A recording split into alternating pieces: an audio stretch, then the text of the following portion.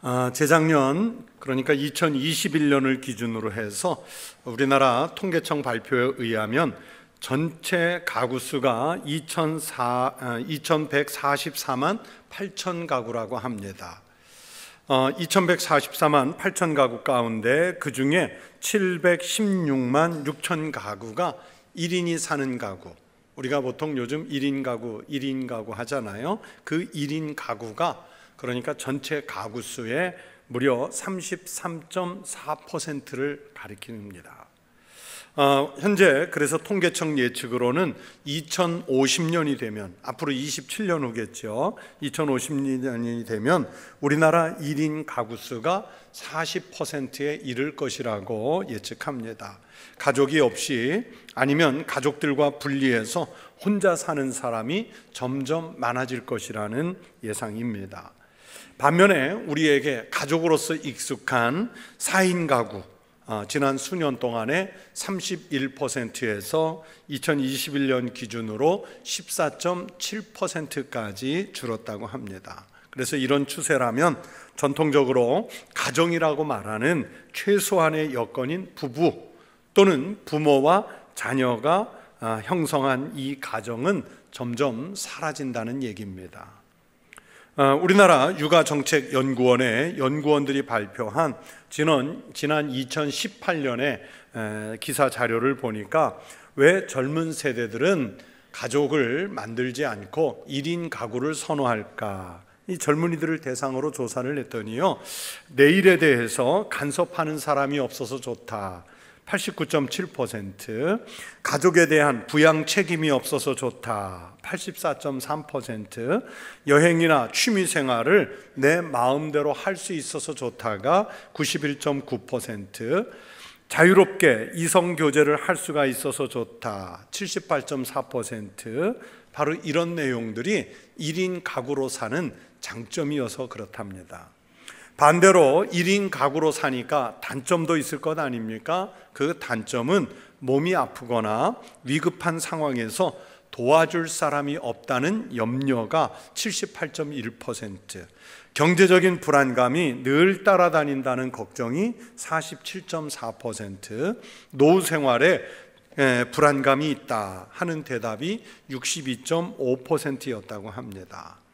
어, 제가 기사에서 이런 통계들을 보면서 인구가 감소하는 것은 국가적으로도 큰 위험이겠지만 사회를 구성하는 최소한의 단위인 가정이 붕괴되고 있다는 사실 또한 엄청난 위험성을 내포하고 있습니다. 어, 여러분 텔레비전 뉴스였기 때문에 아마 보신 분들도 있을 거예요. 지난 12일 날 한 열흘 전쯤이겠죠. 어, 텔레비전 뉴스에 우리나라에도 외로움 담당 장관이 나올까 이런 그 리포트가 있더라고요. 그러면서 실례로 영국은 가정이 없이 혼자 사는 그러니까 1인 가구죠. 그 사람들을 외로움을 정부에서 관리하기 위해서 2018년에 외로움부 외로운 부를 만들었대요. 장관을 두는 거예요.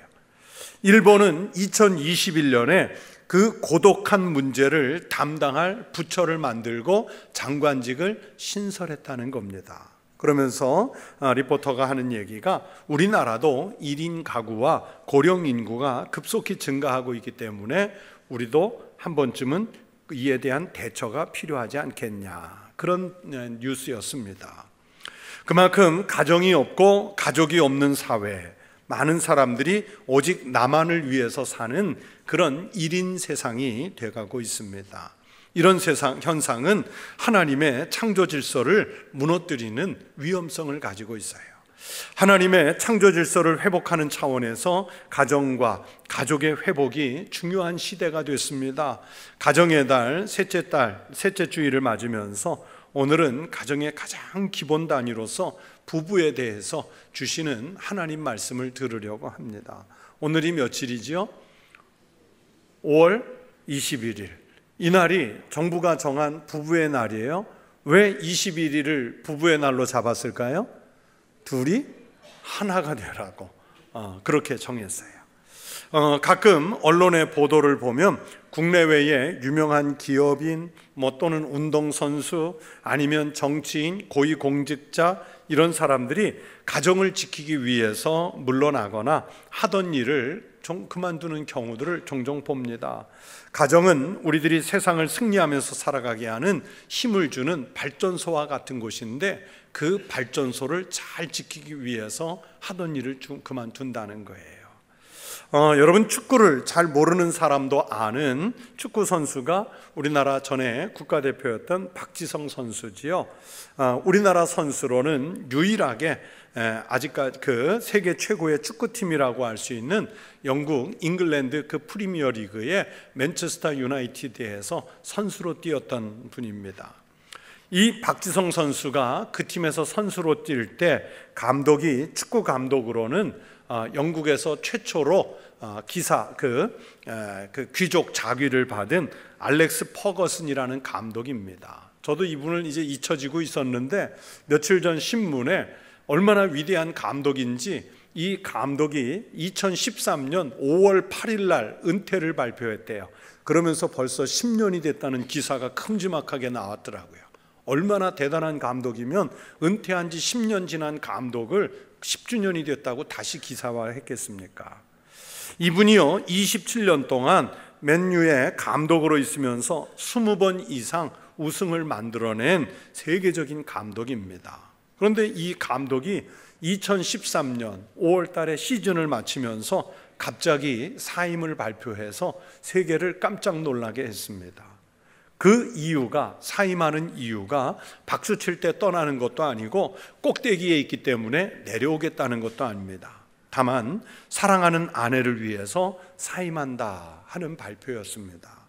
이 퍼거슨 감독은 자기 아내의 최고의 친구가 처형이었는데 얼마 전 그 처형이 별세함으로 아내가 최고의 친구를 잃어버렸기 때문에 이제는 자기가 집으로 들어가서 아내의 친구가 되주어야 하고 아내를 위해서 시간을 내야 하기 때문에 축구 감독직을 내려놓는다는 거예요. 아, 물론 은퇴할 때 나이가 72세였기 때문에 주변에 모르는 축구를 모르는 사람들은 아유 72세면 할 만큼 했네 그만둘 때도 됐지 이렇게 말할 수 있지만 아니에요. 그분은 여전히 10년 전에도 최전성기였고 최고의 감독이었습니다. 그런데 더 할 수 있는데도 은퇴를 했기 때문에 세계가 놀란 거예요. 그것도 아내를 위해서. 하나님은 태초에 천지를 창조하시고 아담과 하와 사람을 만드신 후 인류의 첫 번째 제도로 가정을 만드셨습니다. 다시 말하면 가정의 근간은 부부에서 시작입니다. 부부가 있음으로 인해서 가정이 만들어집니다. 부부는 1 더하기 2은 둘이 되는 존재가 아니라 그 둘이 연합하여 하나가 되라는 뜻의 말씀입니다. 아내와 남편, 남편과 아내는 서로 연합하여 온전한 가정이 될 수도 있고요. 만약에 이 둘의 관계가 깨지면 서로를 죽일 수도 있는, 서로를 망하게도 할 수 있는 아주 무서운 관계예요. 성경적인 관점에서 아내는 남편에게 순복하고 남편은 아내를 귀히 여기고 사랑하면 건강한 부부 관계가 만들어지고 그것을 기초로 가정이 화목하게 아름답게 세워질 수 있습니다. 사실 남자와 여자가 전혀 다른 문화와 환경에서 살다가 한 가정을 이루어서 화목한 가정을 이룬다는 게 결코 쉽지 않습니다. 우리도 결혼해서 살아보지만 여러분 가정에서 평안하게 화목하게 안전하게 화목하게 만드는 게 얼마나 어려운 일입니까? 화목하게 잘 사는 것 같은 가정도 사실은 그냥 저절로 그렇게 화목해진 것이 아니라 정말 많은 수고와 노력이 있었고 그 뒤에 서로 양보하는 희생이 있었기 때문에 그런 화목한 가정을 만들어낼 수 있었던 겁니다. 남편과 아내는 정말 다른 존재입니다. 성경적으로 보면요. 우선 만든 재료 자체가 달라요.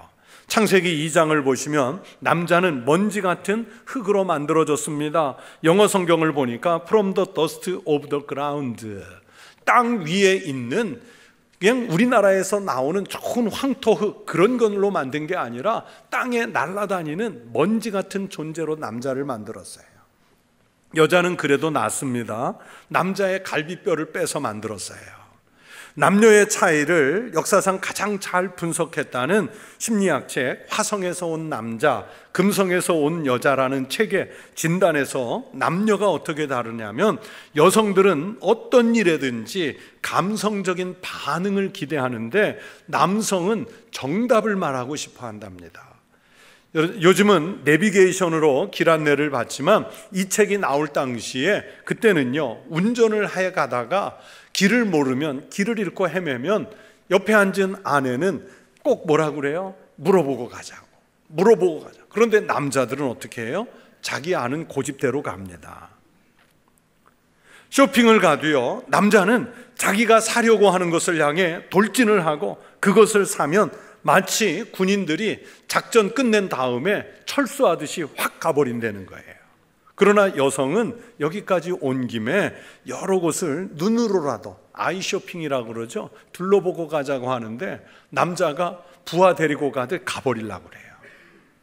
남자는 막히는 문제가 있으면 혼자만의 동굴로 들어가 해결점을 찾은 다음에 일상의 생활로 돌아오려고 하는데 여성은 그 과정에서 같이 고민하고 같이 상의해서 하자며 말을 건넵니다.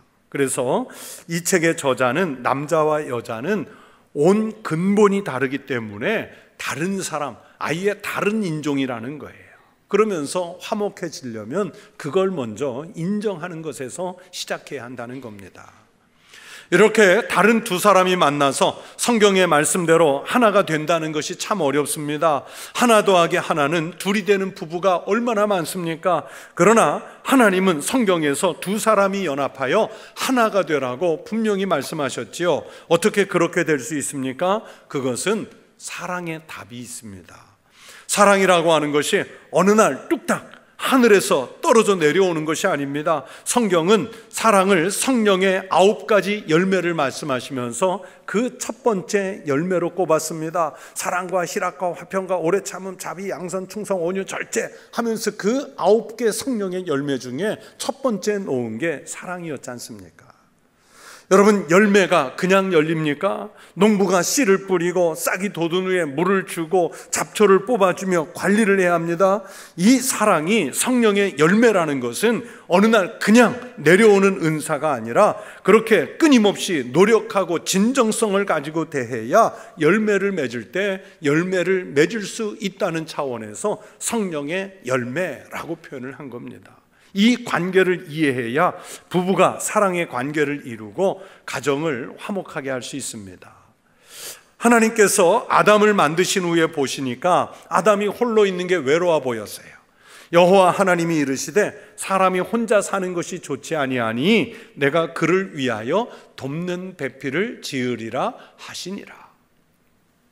사람이 혼자 사는 것은 하나님 보시기에도 좋지 않아 보였고 또 쓸쓸해 보였습니다. 그래서 하나님은 그 아담을 위해서 돕는 배필을 짓기로 하셨는데 이 돕는 배필이라는 말을 크네게도라는 히브리어의 뜻은 적합한 반려자라는 뜻입니다. 그리고 서로 응답하는 자라는 뜻입니다. 창세기 2장의 말씀대로라면 그렇게 가정의 시작은 돕는 상대편하고 한 몸을 이룰 때 비로소 가능한 것입니다. 그래서 남편과 아내는 위아래 상하의 관계가 아니라 서로 적합한 도움을 주면서 공존해야 하고 서로를 필요로 할 때는 응답할 수 있는 관계가 되어야 합니다. 아담이 하와를 처음 만난 후에 얼마나 좋아했는지요. 이는 내 뼈 중에 뼈요, 살 중에 살이라. 그렇게 고백했어요. 인류 최초의 결혼식에서 그렇게 고백했어요. 뼈 중에 뼈와 살 중에 살은 내 안에 있는 진정한 나의 모습입니다. 그런데 이걸 부정하면 결국 그 배우자를 부정하는 게 아니라 나 자신을 부정하는 거예요.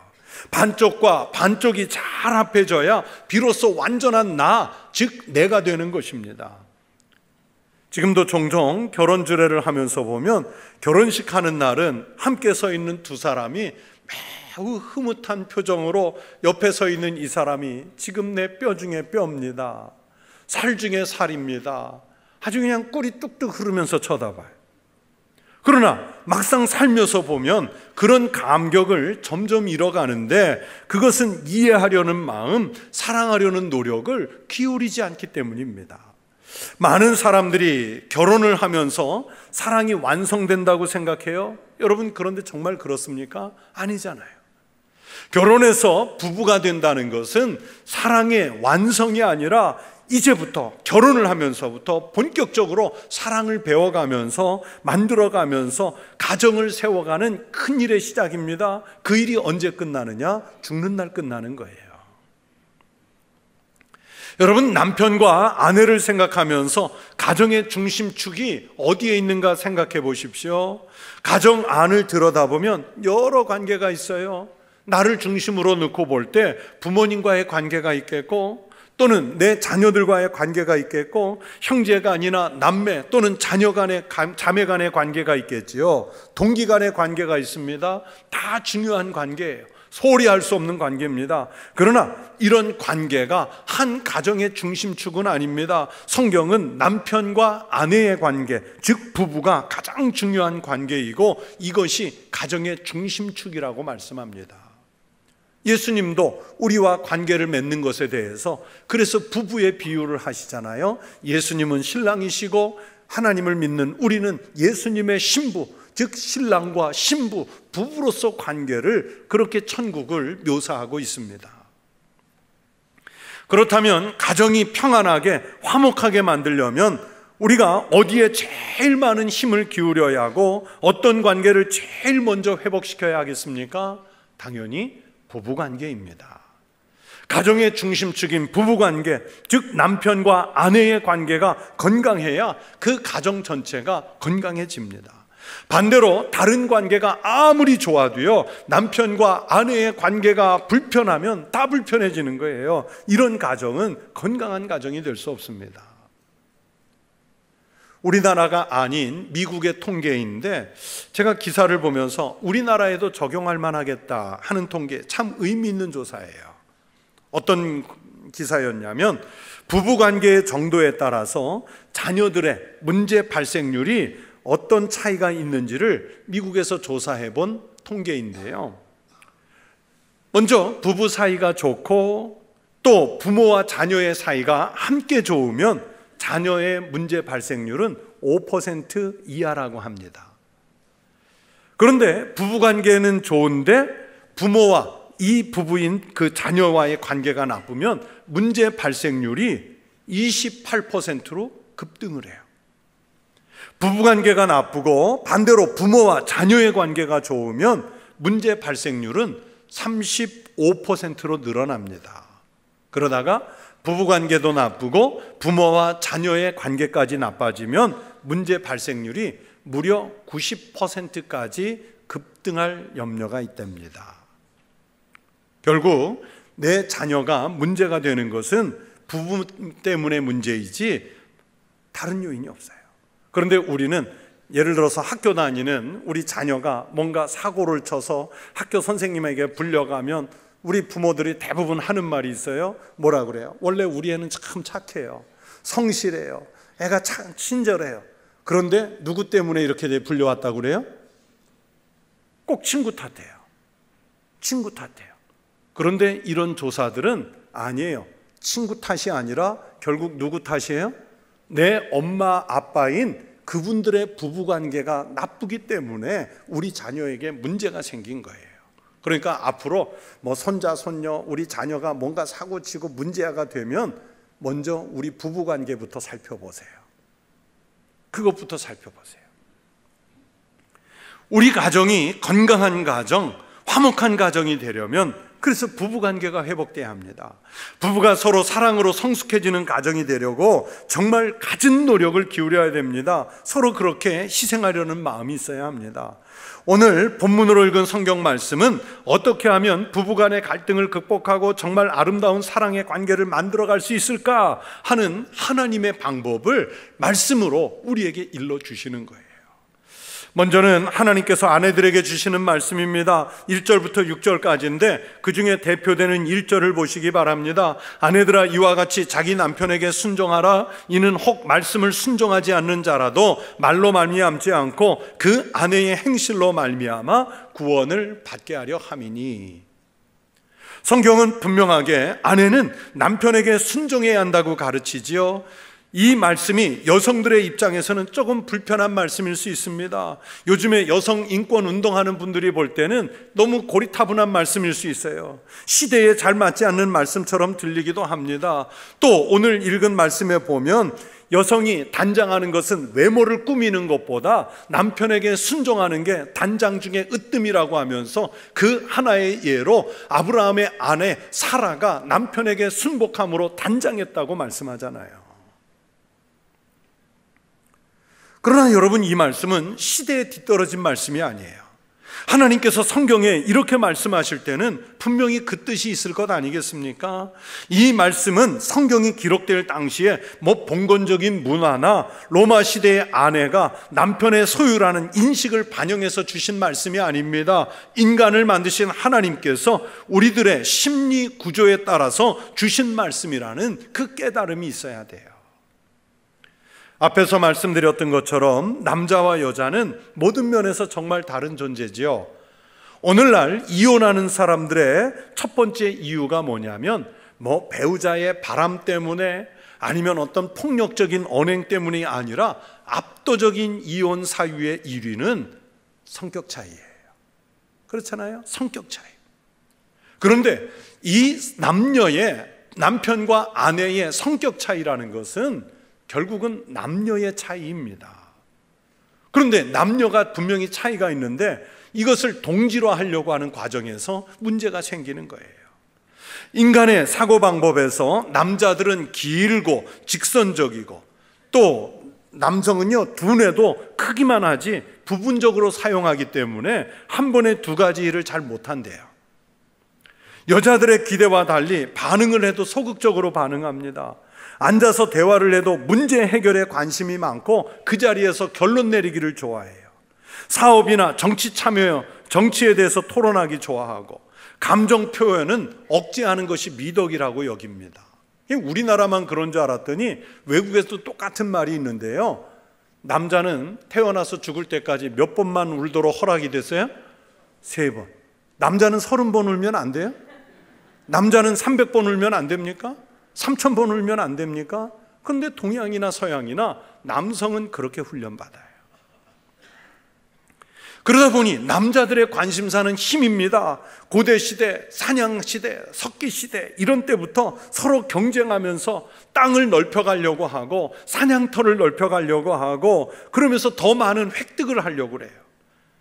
밖에 나가 왕 대접 받고 싶어 합니다. 그런데 막상 밖에 나가서 그런 것을 다 이룰 수도 없고 대부분의 경우 밑에 있는 경우가 많기 때문에 집 안에 들어와서만이라도 높아지고 싶어 합니다.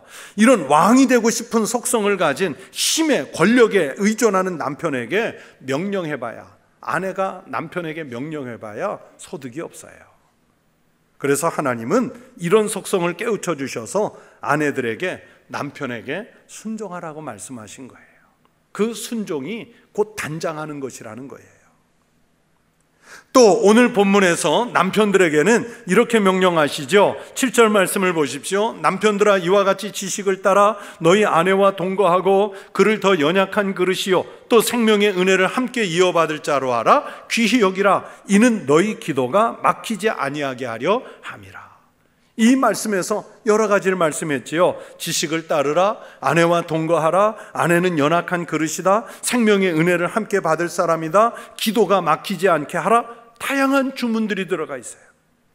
그런데 이 다양한 주문들 중에 제일 중요한 말씀이 무엇이겠습니까? 귀히 여기라는 말씀이에요. 여기.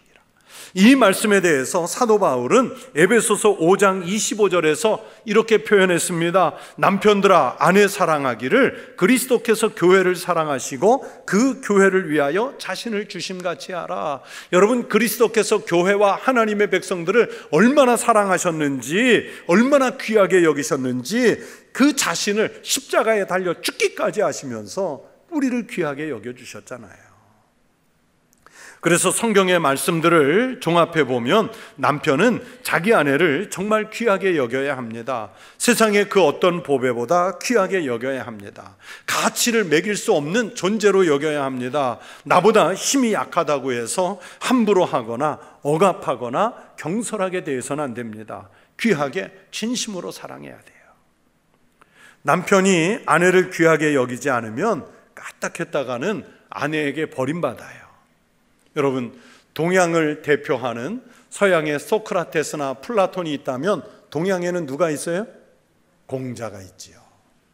위대한 정치 철학자, 정치가. 공자가 그런데 그렇게 위대한 사람이 이혼을 했던 것, 아니, 정확하게 표현하면 이혼당한 거 아세요? 어짐, 인, 의, 의를 그렇게 강조해서 가르친 학자가 공자였어요. 그런 공자가 아내에게 버림을 받았습니다. 어, 페미니스트들이 보면 참 황당한데 공자가 여자를 경멸하는 말을 했어요. 소인들과 여자들과는 함께 지내기가 어렵다. 가까이 있으면 어, 버릇없이 행동하고 멀리하면 원망한다. 그런데 사실은 반대로 뒤집어 놓으면 공자 이 인물 자체가 같이 살기에 만만치 않은 남자였고요. 남편으로서는 좀 찌질했어요. 별난 데가 많았어요. 옛날에는 옷을 지어 입었지 않습니까? 아내들이 옷을 지어 주는데 여러분 공자가 키가 되게 커요. 195cm. 요즘 태어났으면 아마 선생님들이 너 농구해라, 배구해라 했을 거예요. 195cm 장신이었는데 아내에게 옷을 지을 때 일하기 편하게 어, 왼쪽보다 어, 그 예, 오른손을 좀 짧게 해달라. 뭐 이런 주문을 하고 잠옷은 자기 몸의 기장보다 절반 정도 더 길게 해달라. 그러니까 이 옷이 아주 쭉 늘어진 옷 이걸 해달라고 요구해요. 그런데 그거는 참을 수 있는데 특히 아내를 힘들게 뭐한게 뭐냐면 아주 까탈스러운 입맛이었어요. 쌀은 힐수록 좋아했고 갈아 만든 고기는 잘게 썰수록 좋아했다고 합니다. 공자의 부인은요 매 끼니를 남편을 위해 차리는 게 악몽이었어요. 그러니까 여러분 남편이 은퇴하고 집에서 삼식이 노릇해도요 절대 탓하지 마세요. 공자보다 훨씬 나은 남편입니다. 집은 술은 집에서 담근 것만 마셨고 고기도 집에서 구운 것만 먹었어요. 마침 고기가 떨어져서 아내가 밖에 나가 어느 날 사왔는데 밖에서 사왔다고 먹지를 않아요. 아내는 늘 남편을 볼 때마다 왜 세상 사람들이 자기 남편 공자를 위대하다고 하는지 이해를 못했어요. 저런 남편이 뭘 위대하다고.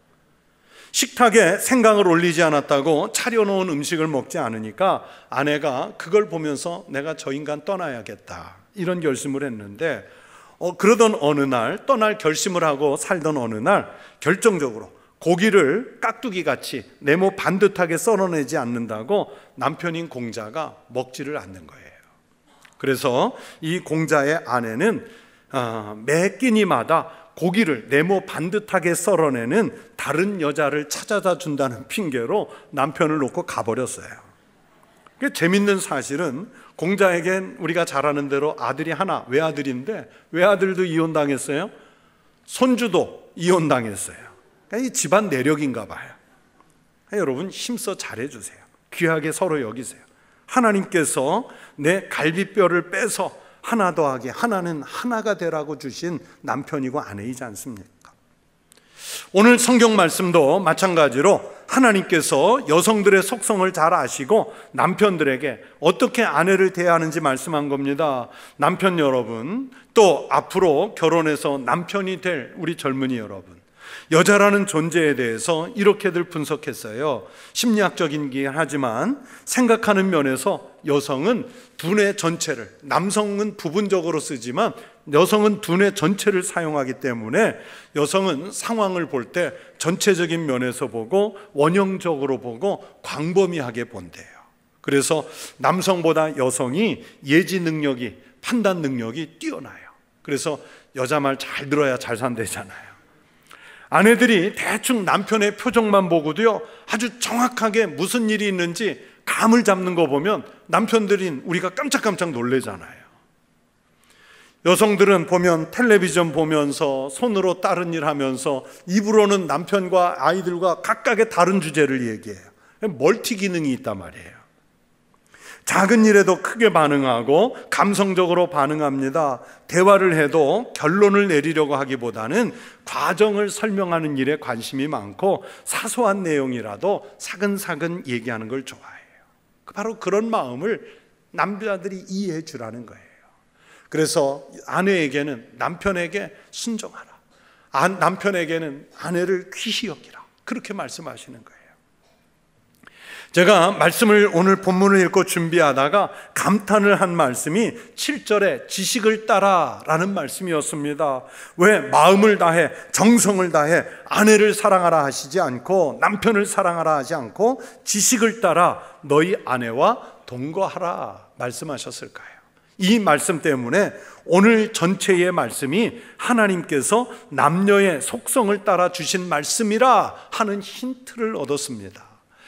남성은 감정 표현이 약하기 때문에 반응이 느리기 때문에 마음으로 정성으로 사랑하는 것이 어렵습니다. 그래서 하나님께서 주신 말씀의 지식, 배워서 알게 된 지식을 따라서 그 힘으로 아내를 사랑하고 귀히 여기라는 말씀입니다. 더 나아가 살면서 아내에 대해 또는 남편에 대해 터득한 경험적 지식이 쌓였을 것 아닙니까? 그 지식을 마음에 담아두었다가 하라는 거예요. 장신대 학장을 지내신 신약학자 박창환 교수님은 오늘 본문의 주석에서 아내의 요구와 기분과 주장을 알도록 하라는 말씀이라고 해석했습니다. 남편의 의무가 무엇인지 아내의 의무가 무엇인지 깨달아서 같이 살라는 뜻의 말씀이라는 거예요. 지식, 곧 안다는 것은 히브리식으로 생각하면 친밀하고 깊은 교제를 통해서 알아가는 그것을 말하는 겁니다. 여성이 감성의 힘으로 사랑한다면 남성은 지식으로 깨달아 알아서 서로를 사랑하고 서로를 귀히 여기는 노력을 기울이라는 말씀입니다. 이런 속성을 따라서 하나님은 남편들이 아내들이 남편을 그렇게 서로 귀히 여기라고 말씀하시는 거예요. 사랑하는 성도 여러분, 여러분의 모든 가정은 하나님께서 세워 주신 줄로 믿습니다. 어, 직장에서 사회에서는 우리가 갈등도 분노도 분열도 겪을 수 있지만 그러나 집에 들어왔을 때 아내와 남편, 남편과 아내는 바로 그런 갈등, 분노, 분열을 서로 상쇄해주고 서로 녹여서 위로하고 격려할 수 있는 관계 아니겠습니까? 그렇게 하라고 주시는 말씀이에요. 하나님께서 짝지워 주신 우리의 모든 부부가 믿음을 가지고 서로 사랑하고 서로 세워주고 서로 존경하면서 건강한 부부 관계를 이루어 가도록 신앙적인 노력을 기울이시기를 바랍니다. 에덴 동산의 아담과 하와와 같은 그 하나님의 가정, 성도의 가정이 우리 청북교회 성도들의 가정에서 만들어질 수 있기를 주의 이름으로 축원합니다. 기도하겠습니다. 하나님 아버지 감사합니다. 에덴 동산에 아담과 하와를 두어 둘이 연합하여 하나가 되라 하신 것처럼 오늘은 우리 남편과 아내, 아내와 남편 두 사람으로 한 가정을 이루게 하셨으므로 하나님의 말씀대로 서로 순종하고 서로 귀히 여겨서 신앙의 가정을 아름답게 세워가게 해 주시옵소서. 하나님께서 친히 직접 통치하시는 가정들이 되게 하여 주시옵소서. 예수님 이름으로 기도하옵나이다. 아멘.